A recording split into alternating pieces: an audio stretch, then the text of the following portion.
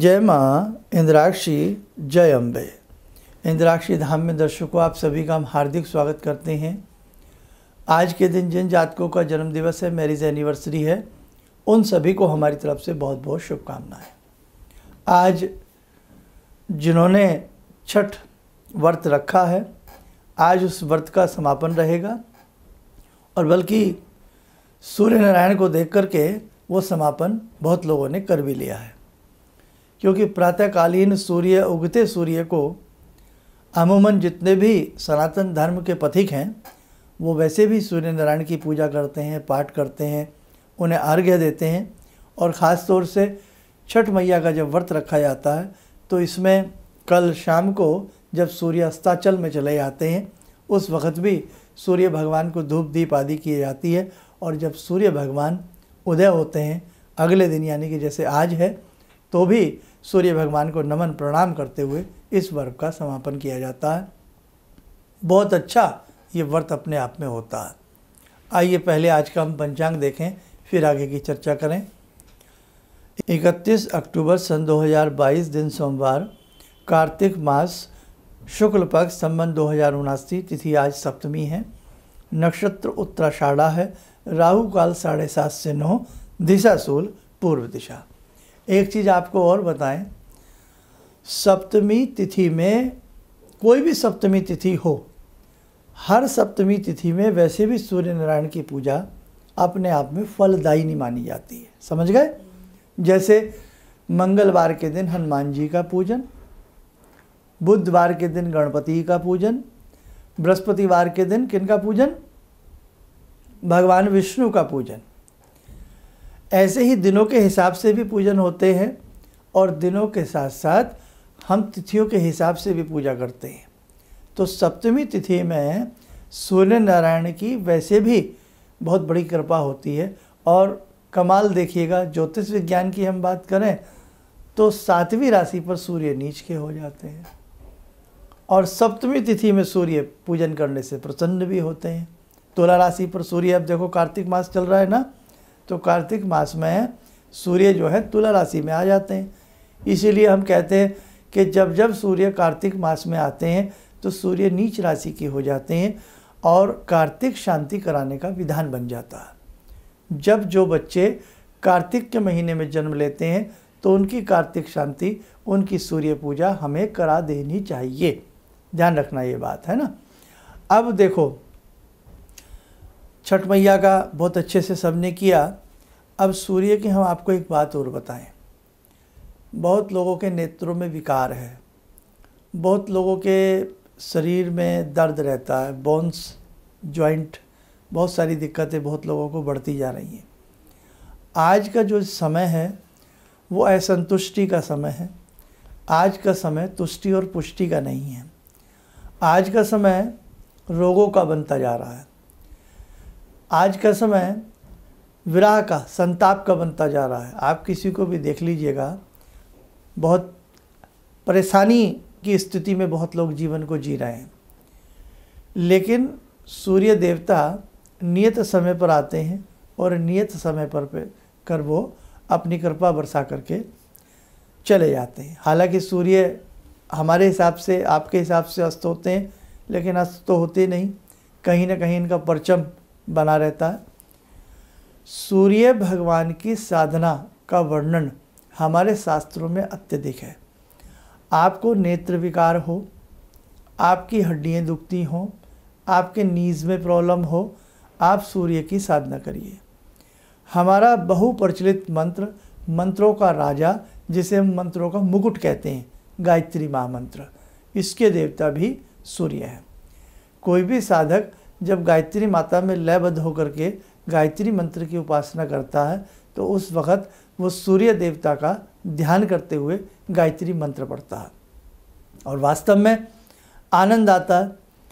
और एक चीज़ और आपको अद्भुत बताएँ, अब आप कह तो देते हैं कि मैं मंत्र पढ़ रहा हूँ, मैं साधना कर रहा हूँ, लेकिन साधना का मतलब है कि साध करके, अपने मन को चहु ओर से खींच करके अपने मन को चहों ओर से खींच करके जहाँ मन बटा है, उसको वहाँ से ला करके, भरकुटी में उसको स्थान दे करके, तब हम किसी मंत्र की साधना करें, तब उसका हमें पूर्ण फल मिलता है। और सूर्य साधना में तो एक बात विचित्र है, बहुत लोगों ने ऐसा देखा भी होगा। हम अपना अनुभव आपको बता रहे हैं। हमारे परम पूज्य गुरुदेव, पंडित श्री राम शर्मा जी ने अपने अनेकों ग्रंथों में इस बात का बताया है, हवाला दिया है। क्या?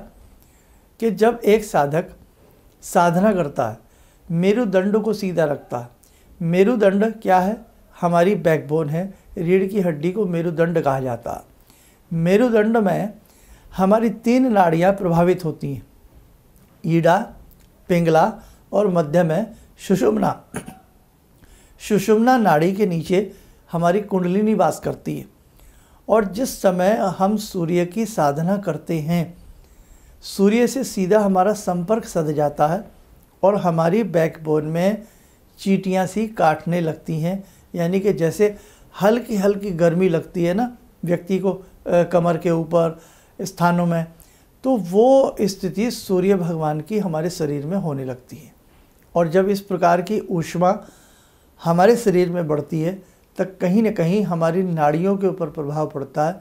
हमारी कुंडलिनी उससे जागृत होने की संभावना बन जाती है और साधक का सीधा संपर्क सूर्य से होने की वजह से उसके सठ चक्र भेदने की कगार पर आ जाते हैं और उसे साधना से सिद्धि प्राप्त हो जाती है।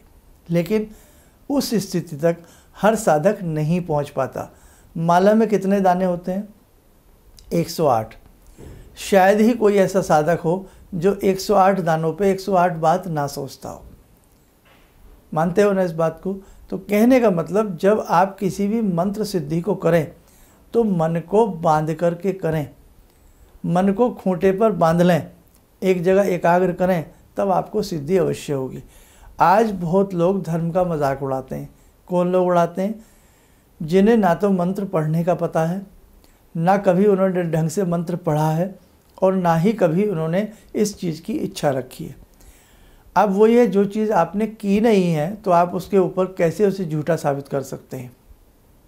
हम अपने सभी साधकों से कहना चाहते हैं कि आप अपने जीवन में गायत्री अनुष्ठान अवश्य करें।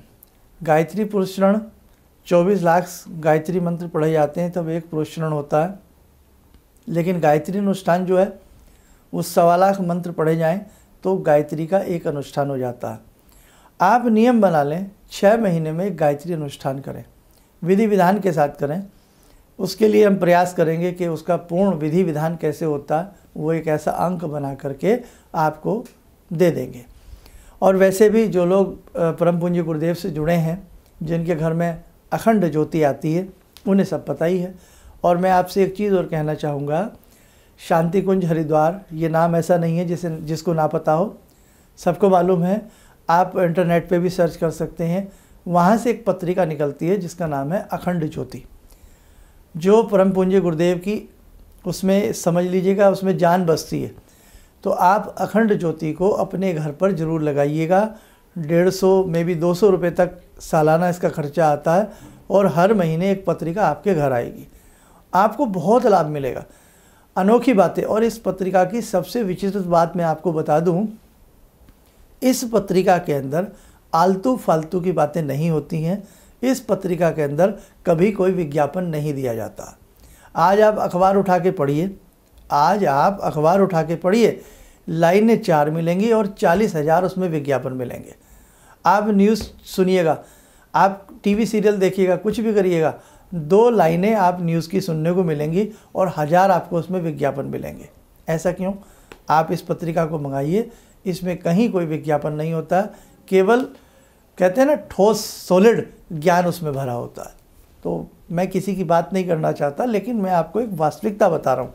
पत्रिकाएँ बहुत हैं, मैं किसी पत्रिका की बात नहीं कर रहा, लेकिन क्या होता है, उनमें ऐड ही ऐड भरी होती है, आप पढ़ेंगे क्या उसमें? पहले पेज पे ऐड, दूसरे पेज पे ऐड, फ्रंट पेज पे ऐड तो ऐसा नहीं। तो आप इस पत्रिका को ज़रूर मंगाइएगा।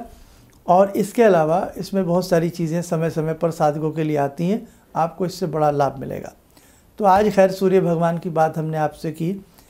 तो जिन्हें नेत्र रोग हो, रतौंधी का रोग हो, जिन लोगों के ज्वाइंट दुखते हों बोन्स प्रॉब्लम हो, चर्म रोग हो एक्जिमा एलर्जी इस प्रकार की चीज़ें जिनका दामन न छोड़ती हों या जिन्हें मानसिक असंतोष हमेशा व्याप्त बना रहता हो, उन्हें सूर्य की साधना ज़रूर करनी चाहिए। सूर्य को जल ज़रूर देना चाहिए। आप सुबह सुबह उठें, सूर्य की साधना करें, सूर्य को जल दें। जो कामकाजी लोग हैं, जॉब पे जाने वाले लोग हैं, जिनका जो ये कहते हैं, साहब सुबह निकलते हैं, शाम को आते हैं, आप संडे का दिन पकड़ लीजिए। एक घंटा, रविवार के दिन आप गायत्री साधना करना शुरू करिएगा। सूर्य की साधना करना शुरू करिएगा। सूर्य की साधना से विलक्षण प्रभाव हमारे जीवन के ऊपर आता है और हमारे तीन शरीर होते हैं, सूक्ष्म, कारण और स्थूल। स्थूल जो हमें दिख रहा है, उसके अंदर सूक्ष्म, फिर उसके अंदर कारण और उसके अंदर सूक्ष्म। तीन शरीर हमारे बसते हैं। तीनों शरीरों के ऊपर गायत्री साधना अपना आधिपत्य बना लेती है। खैर, बहुत सारी बातें आपको बाद में समझ में आएँगी। अभी केवल मोटा माटी इतना समझें कि आप गायत्री मंत्र की साधना अपने जीवन में ज़रूर करिएगा, सूर्य की साधना ज़रूर करिएगा, आपको बहुत अच्छा लाभ मिलेगा। आइए, समय हो चला है आज की आध्यात्मिक साधना से जुड़ने का, दिन सोमवार का है, बाबा शिव शंभु की शरण लेते हैं, आइए ध्यान करें भगवान शिव का।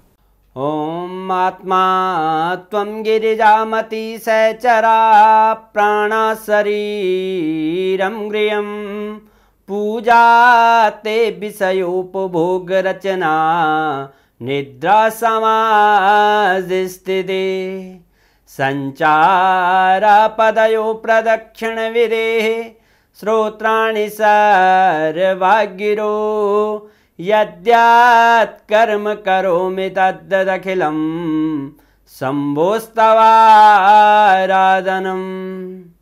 चन्द्रोद्भासितशेखरे स्मर हरे गङ्गाधरे शङ्करे सर्पे भूषितकण्ठकर्णविवरे नेतृत्ववे स्वानरे दन्ते त्वकृतसुन्दरां वरदरे त्रैलोक्यसारे हरे मोक्षार्तिं कुरु चित्तवृत्तमचलं मन्येस्तु किं कर्म वे? वन्दे देव उमापतिं सुरगुरुं। वन्दे जगत्कारणम् वन्दे पन्नगभूषणं मृगधरां। वन्दे पशूनां पतिं वन्दे सूर्यशशाङ्कवन्निनयनां वन्दे मुकुन्दप्रियं वन्दे भक्तजनश्रयं च वरदां वन्दे शिवं शङ्करम्।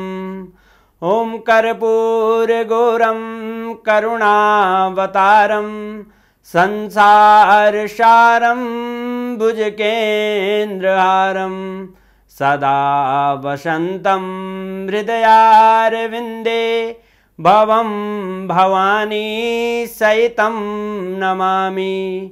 भवं भवानी सहितं नमामि।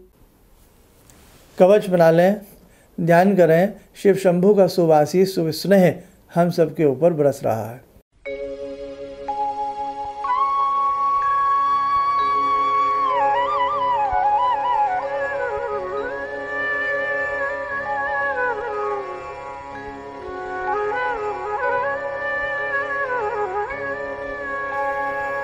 ओम बोलते हुए नेत्र खोलें, सामान्य हो जाएँ। देखो साधको, आज हमने सूर्य की बात आपसे कही, आप ये साधनाएँ करिए, आपके जीवन में बहुत लाभ मिलेगा। और आज जैसे कि छठ पर्व का समापन हुआ, सूर्य भगवान की साधना के साथ तो पूरे देशवासियों को हमारी तरफ़ से बहुत बहुत शुभकामनाएँ।